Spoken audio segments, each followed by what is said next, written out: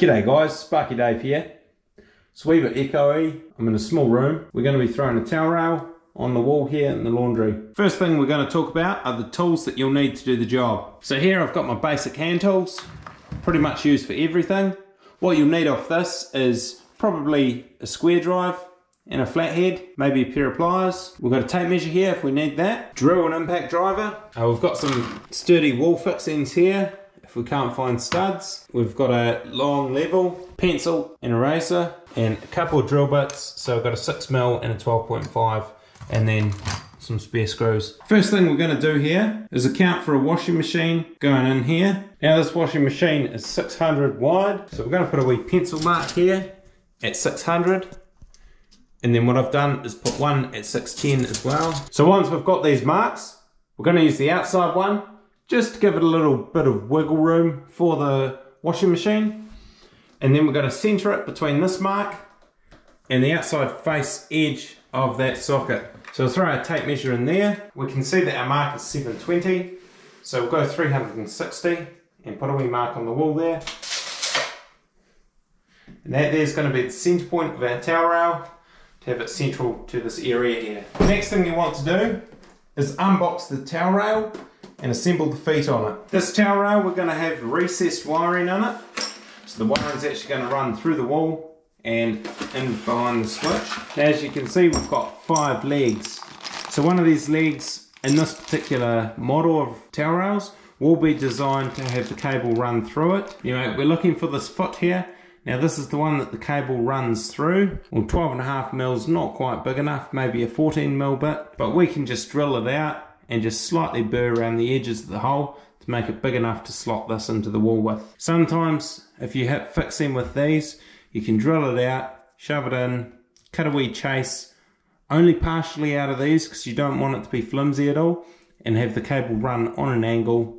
You'll be able to drill it on a slight angle and the cable's small enough to fit through. Now unfortunately, because we weren't in here sooner before the previous electrician did his thing. We have no cable in the wall whatsoever as a draw cable which you would generally put in in a new build. So what we'll do instead is we'll have the powered leg at the top of the towel rail and of course it may look unsightly with an Allen key sticking out the top. We'll try and work around that as best as possible. There should be an Allen key provided with each towel rail. Here we go. So the first thing we'll do is take these wall fixing mounts out, pop an Allen key in there, untwist it a bit, and they'll pop out.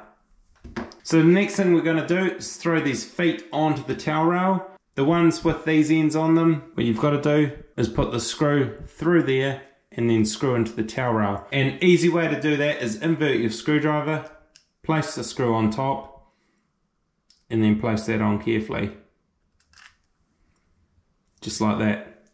And then you can screw this on. Make sure that these Allen key parts are facing downwards from the way you're going to have the towel rail. So this screw here is just going to screw straight into the hot threaded hole. Now you want to tighten them up, don't over tighten them, but nice and firm so it's not going to move when you apply a bit of force to it. You want to eye it up and just make sure it's straight on as possible. When you line up with the wall later, you'll be able to see if they're a bit wonky and straighten them up. We'll be using this side here, throw a cable onto when it's on the wall. So I'll take that cap off. The other end, the cap stays on. It looks like these ones here, they've actually designed with threads in the bottom so you can actually put them upside down. A lot of the time with these towel rails, they can't go upside down, so that's great. We don't actually have to have the Allen key sticking up at the top to have the cable at the top. We do have a sticker on top here, which will be visible through that wee hole. So we'll rip her off. Now on this side here, we'll put both screws in. So one goes in the top, one goes in the bottom. On this one here, we just put one on the bottom because that one will need to take off so we can fit the cable in later. Righto guys, now that that one's done, I've got it leaning against the wall here. If you are going to lean it against a wall, don't lean it on these sharp edges of the feet lean it on the nice smooth surfaces at the top um, and make sure, I mean this wall's not painted yet as you can probably see. So the next thing we're going to do is we're going to measure halfway on this towel rail ladder so we can line it up the middle point on here when we face it against the wall. Rail is 500 so 250 right there. I don't know if you can see that mark, but I can see it quite well. So make sure you have your pencil on you. Clear all the crap off the floor. Now the next thing we're going to do is line this up with the wall. I'm going to need to get in the way of the camera a wee bit. This is by far the fastest way to do it. Throw a nice level across the feet. Line your centre points up with whatever height you're having the towel rail. Just check the cupboard doors and drawers don't open up onto the towel rail like that. Cupboard door's fine, it's away from the towel rail. Make sure it's level and all you'll need to do is do a small semicircle around the top of the feet of each foot. Be careful not to move the towel rail at all while you're doing this. Sometimes it helps to have a second person. As you can see I slightly slipped there. Line it back up perfectly and keep going. That's done. The next thing I do is check for studs. There's nothing behind that one. Same as that one. There's definitely fixing behind there. And same as that one. You want at least two points of fixing for a towel rail, preferably at the top. But of course, one of these top ones is going to end up being a cable. Next thing I do is get a small screwdriver, terminal driver, grab one of the feet. Now these feet are going to get mounted on the wall. I'll put the screwdriver through the center and pierce a hole in the jib here. Now you can see I've got a wee semicircle here I've got an almost full circle here. So I'll demonstrate on this one. With these feet, this is going to sit inside. It's going to be pushed up against the top of the inside of each leg by the wee grub screw at the bottom. So what you're going to want to do is line it up, not center to these holes, but offset towards the top and central to the sides. Just like so, I hope you can see. So a wee bit offset towards the top. I'm going to poke my screwdriver through just like that. So you can see that this is closer to the top than the bottom and that counts for that wee grub screw pushing in. When you take it out, you'll see the center hole is slightly off-centered. So repeat that for all four. What I've found actually is this top one here isn't quite into fixing. So the next thing I'm going to do is make the holes that we're into jib much bigger. So bring it down through the tip of the screwdriver and over this. You can also use say a 6mm drill bit and just drill them out to centre if you want. This way I find is much faster and easier.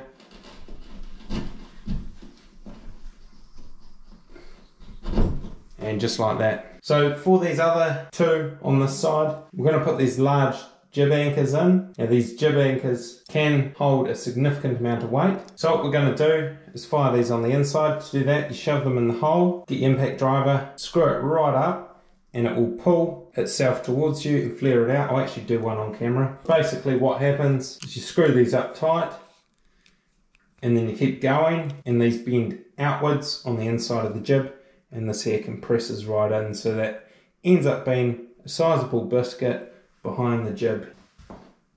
Fire it in. It's best to use an impact driver, but once you get it going, it's really easy to screw up. And then when it starts getting tight, simply unscrew it. And you're left with a solid anchor in the wall, and then this here with the washer, and it should just slide into these. So with this, we then just screw it onto the wall.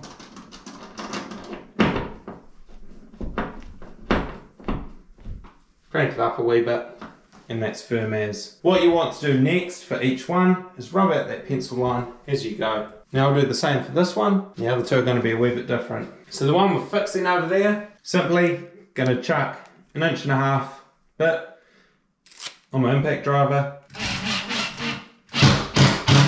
And there we go. Sweet. So now that those three are on the wall and they're nice and secure, what we're going to do is drill this hole out substantially bigger so we can fit the wee cable piece into the wall there. Still not big enough. So I want to evenly go round on all sides with this drill bit and just make it slightly bigger. This is probably 13 and a half, 14 mil So if you had one of those drill bits, obviously use that instead to make it perfect. But otherwise, we can just carefully burr it out a wee bit. The jib's easy to burr out. Don't go too rough on it. Still not quite big enough.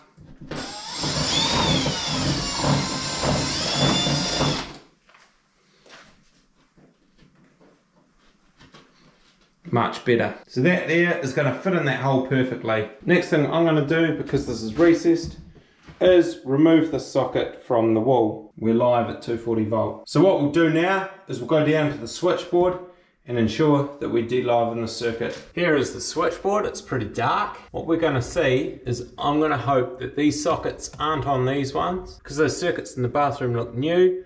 I'm gonna assume the previous electrician has put them on this RCD so we will test that one. This one has killed the circuit. Always make sure you prove, test and prove. So that's great that the socket this towel rail is going to run off is on an RCD because that was the next point I was going to get to. Ensure that every single towel rail you install is off an RCD circuit, no matter what. If you're going there to throw a towel rail on an old circuit, don't do it without putting an RCD on it.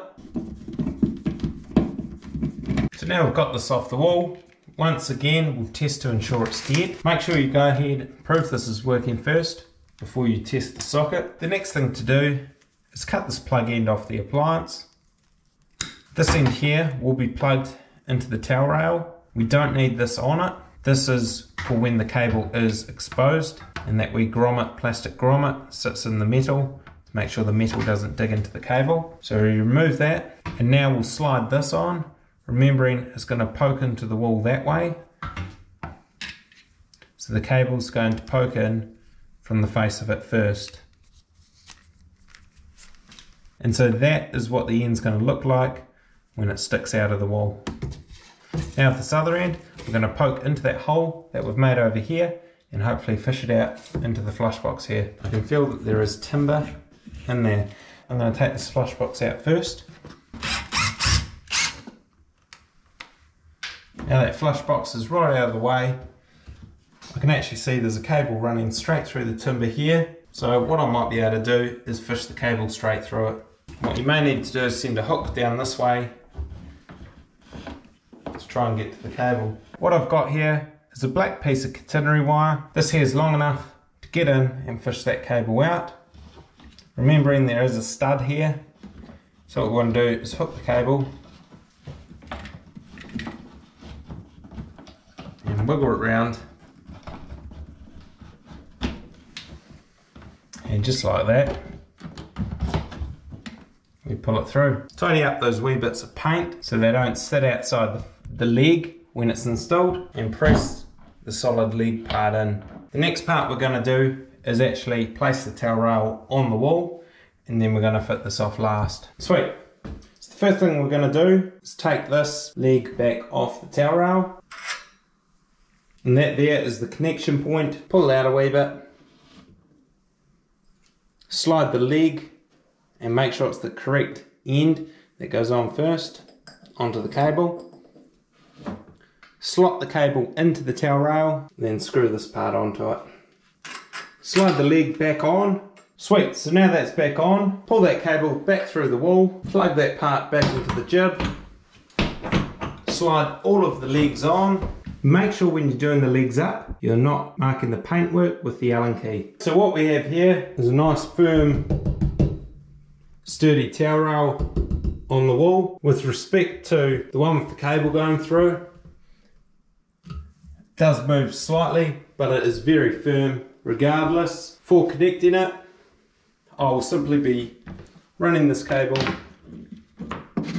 off the one terminal and wiring the neutral earths together. I'll be doing that off camera. And of course the final bit, make sure it's level.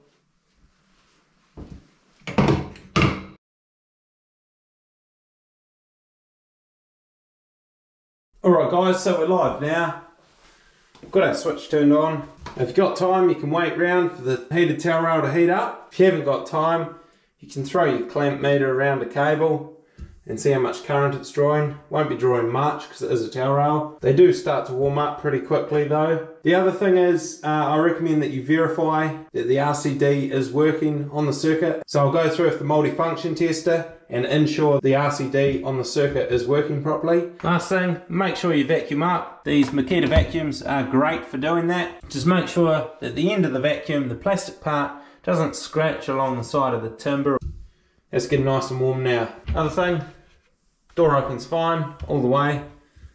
I mean, obviously not by the handle the whole way. And plenty of room for the washing machine, which will be coming out to about here. So I think we've done well where we've positioned this. It's at a nice height. I mean, you could go a bit higher, but it would start looking silly with the window being the height it is. Awesome. All right, thanks for watching, guys.